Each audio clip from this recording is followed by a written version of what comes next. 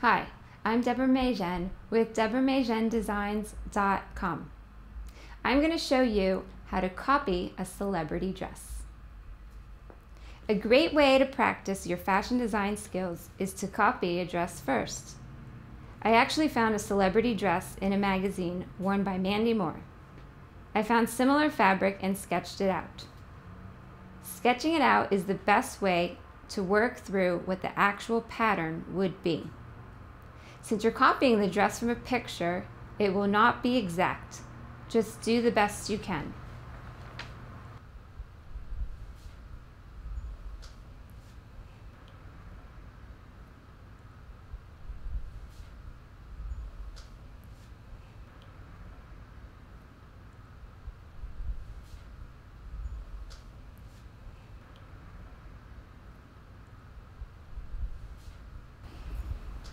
This dress is actually five pieces.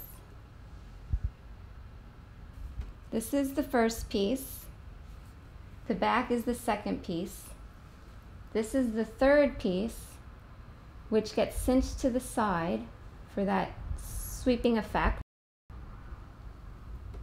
This is piece number four and piece number five. What I did here was sew a wraparound skirt that ties to the inside so it wraps around.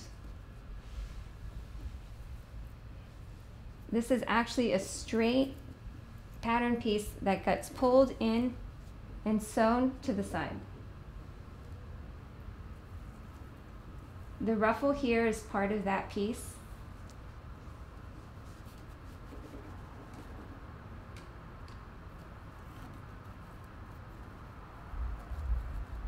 This was sewn at a gather and then folded over for that effect. The back of the dress is an A-line skirt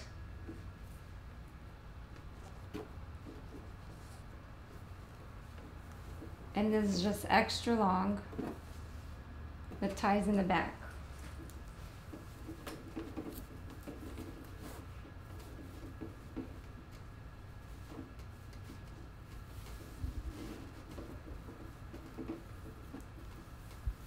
For very sexy and open back, classy, covered with these long ties.